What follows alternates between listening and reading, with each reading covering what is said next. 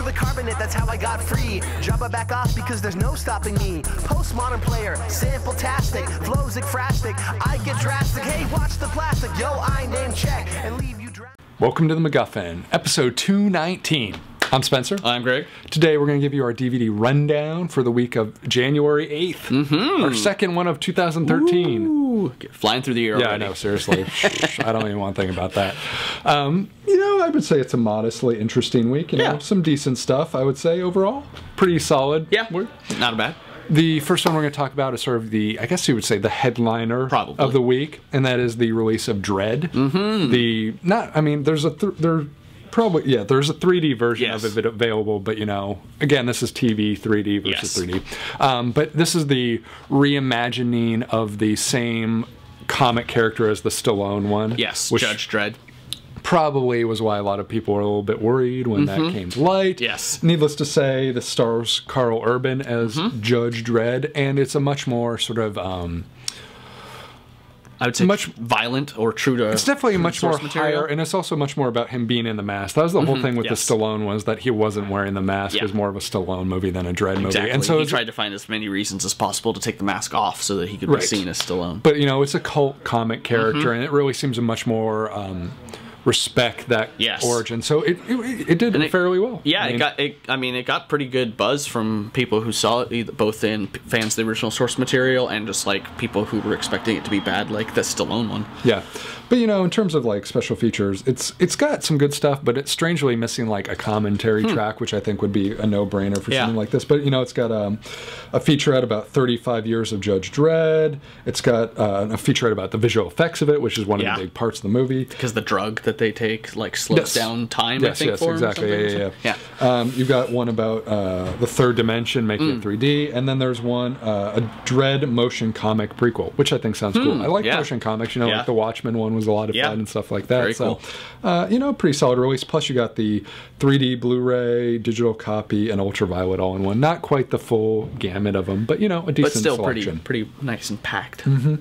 Uh, next up, again, a similar sort of one, but one covering the full gamut. Frankenweenie, which you Hmm. Got the Blu-ray 3D, Not the Blu-ray. DVD, digital copy. kids movie and Tim Burton and a 3D movie between those things it's like if you can get it's not something you'd have everything together You know, uh, it's a it's a decent movie. I liked Like- it. Like I enjoyed it. Like thinking back on my like top uh, animated films of the year is probably number four. I, pro-. I think I went ParaNorman, Wreck It Ralph, Brave, then Frankenweenie. Mm. okay I can Uh, see that It, it means it's does not to say it's bad. This No, is yeah. probably one of the strongest I mean it's years. still n- number four It's still one of. The, I would also say one of the strongest years for animated films. Yes, when it's- it's Pixar is number three, like that really speaks to how strong. And that's not even saying Pixar did something wrong. no it's yeah not like Cars two or animated something. film I mean you got what like um blue what is it Or- Yeah, Blue. Yeah, yeah, I mean, yeah, you got stuff like Ice Age. Ice Age Four, the fourth most successful film this year. Eight hundred seventy-five million dollars. Good yeah. It's only behind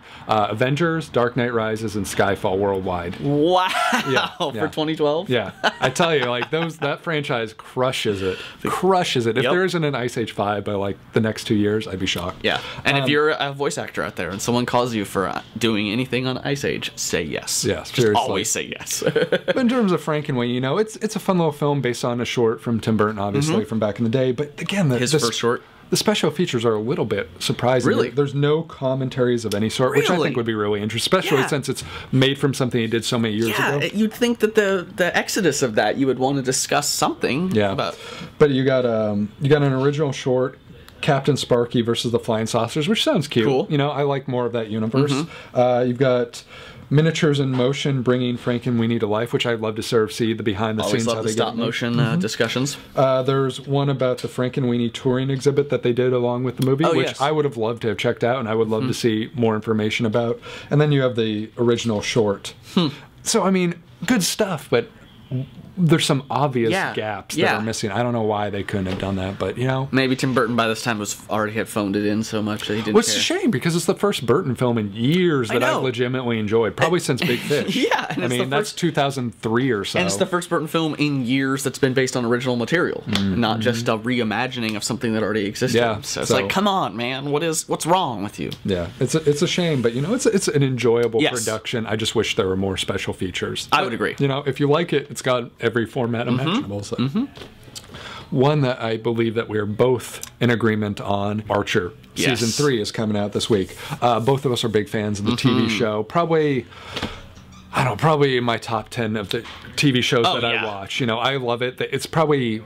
It probably might be my favorite animated show on. I can't think Uh, yeah, of anything oh yeah, I like more than it. it. would be. Oh, that would be a hard discussion, but I would say it's definitely got to be number I one. I can't think of two. anything that would beat it.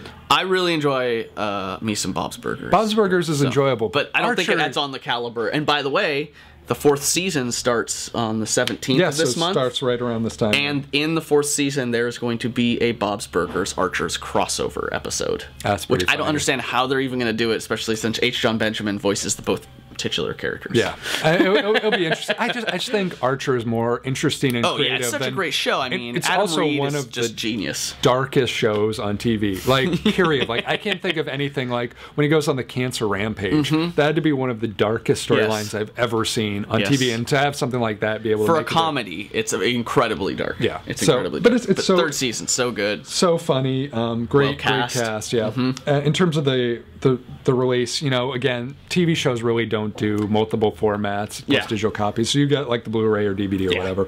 But you know, you got some commentary tracks for El Contador, Drift Problem, and Lo Scandalo. Mm-hmm. Um, you got. Heart of Archness extended version, which Awesome. I'm very curious to check out Yes. Mm-hmm. because that was a great, great episode. Um, you have answering machine messages, which I Yes. think sounds hilarious. Yes. H. Jon Benjamin would be like the best yeah. answering machine possible. Yeah, because so much ad lib between those people, I can't I even mean, imagine. outside of like that uh, George answering machine message from Seinfeld, like I don't know anyone. Yes. that I would want more to do an answering machine message than It's H. Jon. Benjamin. And the final one is cooking with Archer. I don't know what exactly that will entail, but it sounds like it'd be funny. I hope it's recipes. I think it'd be hilarious. Yes. Like drinks or Yes. like, Yes. like I, I can only imagine what kind of stuff Archer would teach you to cook. I, I'm I'm surprised there's not a something in there hidden. Oh God, Gator There might Two be. trailer. there There's- might be some hidden th- stuff. well. I, I only say that there's got to be another um, Raptor episode because the Hmm. last two seasons have had an episode basically like the it was like I think the unreleased pilot and an unreleased something where everything is the same, but Archer instead of being animated Archer is a raptor. Still talks It's the same, does everything the that- same. that might be an option There's under that. some That'd be pretty cool. ridiculous stuff. It's a great show. Yeah. Uh, the final one, one of uh, the films you enjoyed a lot last year, Mm-hmm. Yes. Samsara, is coming out. Uh, again, you know, since it's a smaller company, it only comes out on Blu-ray, DVD, Yes. etc. Um, you were a big fan of this movie when you saw it. Yeah, I saw it at Cinerama here in Seattle, so on the big 70 Was- yeah, millimeter. 70 millimeter. Yeah, I Yeah. think so. Uh, I think maybe th- not 3D. No. No. I don't think it was 3D. No, but uh, same people who did, I think, Baraka, I think was Yes, the they name did, of the film. yeah. Yeah, it's a narrative without actors or, you know, it's just more visual narrative.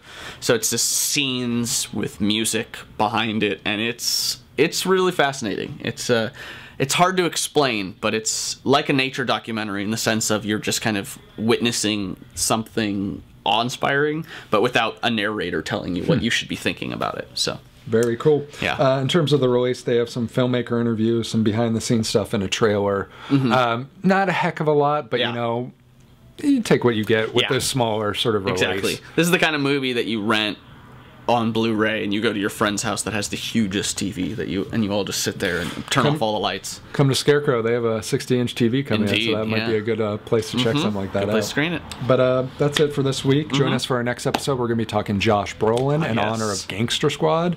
And as always, yeah, very well, done.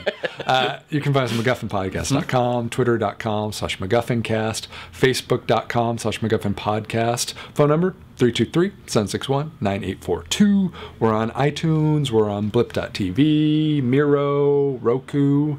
Check in and GetGlue. Get some badges. Leave us some uh, reviews on iTunes and uh, Leave us some comments on the social medias so we can YouTube's, all that stuff. Yeah. Um, Join us next time. See you. T1000 can't stop me. I'm on fire tonight. Magneto can't stop me. I'm on fire tonight. Even Zod can't stop me. I'm on fire tonight. It's tight. Don't even try to bite the side style. Mr. Spock can't stop me. I'm on fire tonight. The Wrath of Khan can't stop me. I'm on fire tonight. The Borg can't stop me. I'm on fire tonight. Because I've got space game and it feels alright.